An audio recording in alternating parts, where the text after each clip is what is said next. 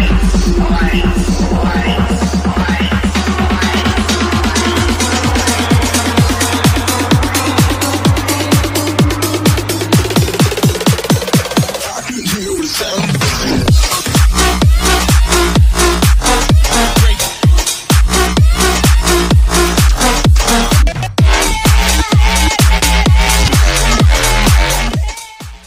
तीवर के और एक नए एपिसोड में आज हम लोग बात करने वाले हैं बिग बॉस के तीन मेजर अपडेट के बारे में। तो बने रहिए वीडियो में और अगर आपने अभी तक हमारे चैनल को सब्सक्राइब नहीं किया है तो प्लीज़ नीचे जाकर सब्सक्राइब करके बेल आइकन को प्रेस कर ले, ताकि ऐसे ही वीडियो आप तक पहुँचती रहे और अगर आपने अभी तक हमारे ट्विटर और इंस्टा को भी फॉलो नहीं किया है तो डिस्प्ले पर आ रहे लिंक पर जाके फॉलो कर ले, क्योंकि नई नई वेब सीरीज़ और नई नई मूवी की जो डाउनलोडिंग लिंक होती है, वो आपको फ्री में वहाँ से प्रोवाइड होती है। तो जी हाँ दोस्तों, आज हम लोग बात कर रहे हैं बिग बॉस के तीन मेजर अपडेट के बारे में। जैसा कि आप लोगों को पता होगा कि बिग बॉस 14 का जो आगाज़ है, वो हो चुका है, जो कि कलर्स और इंडिया का नंबर वन रियलिटी शो है।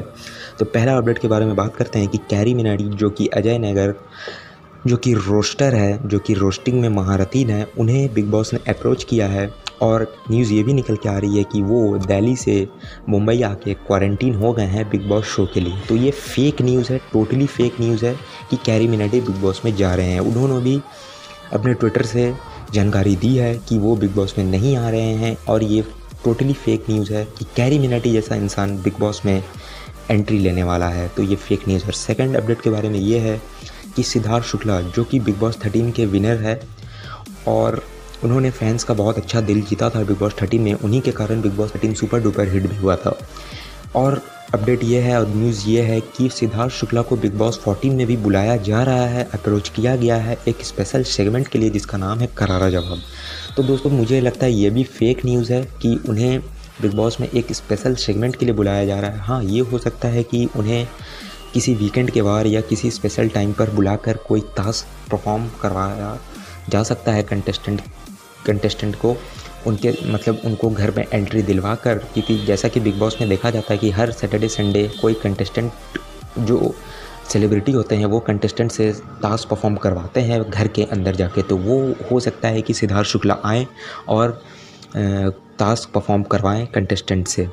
ये अपडेट हो सकती है, लेकिन मीडिया में ऐसी बात आ रही है कि सिद्धार्थ शुक्ला को स्पेशल सेगमेंट के लिए बुलाया जा रहा है, जिसका नाम होगा करारा जवाब, जो कि हफ़्ते में हमेशा जैसे सलमान खान आके होस्ट करते हैं। तो उसी तरह सिद्धार्थ शुक्ला भी बाहर से शो को देख के और एक स्पेशल सेगमेंट करेंगे, जिसका नाम होगा करारा जवाब।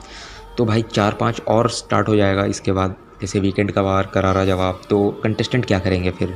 तो ये फेक न्यूज़ है। और थर्ड अपडेट ये है कि बाइकआउट करेंगे बिग बॉस को। बहुत लोग ये कह रहे हैं कि बिग बॉस को बाइकआउट करो। तो दोस्तों, मैं पूछना चाहता हूँ कि आप किसको बाइकआउट करेंगे? क्यों बाइकआउट करेंगे? आप बताइए, एक इंसान के चलते में आप पूरे बिग बॉस को क्यों बाइकआउट कर रहे हो?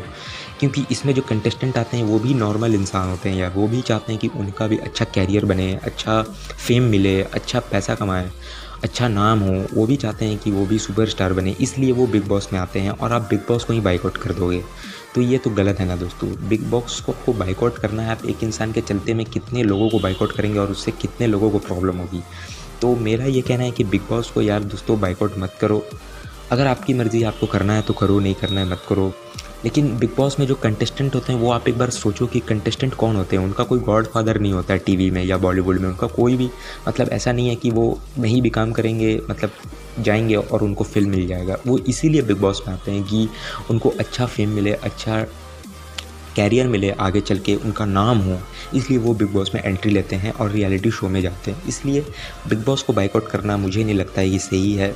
और आप भी सोचो दोस्तों, इतने दिन से घर पे बैठे हो, कुछ अच्छा मनोरंजन का चीज़ आ रहा है तो आप उसे क्यों नहीं देखना चाहते हो, है ना?